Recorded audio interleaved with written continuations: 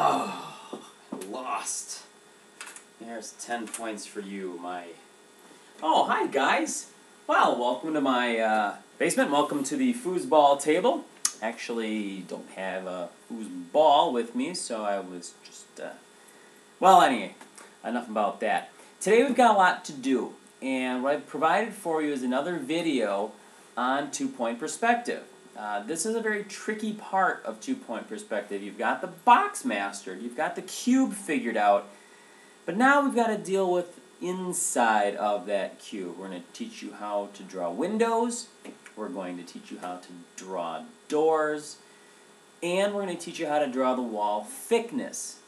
And one more thing, the inside of that building that you're going to create.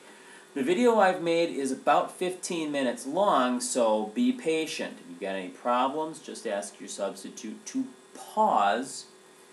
I want you to work with your neighbors on this too, so I don't want you to be afraid to ask questions, but make sure you're being respectful.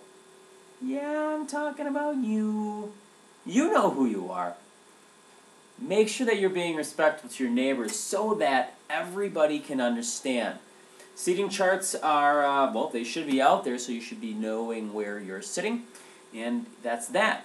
So, I'm done. Write your goals down. As soon as all of your goals are done, go ahead, and send someone to get a ruler. Turn to the next blank page in your notes section of your sketchbook, which actually the sketchbooks then are up on the front table. No, not the table. They're up on that front platform with the big black box. And and I think that's it. So, write down your goals.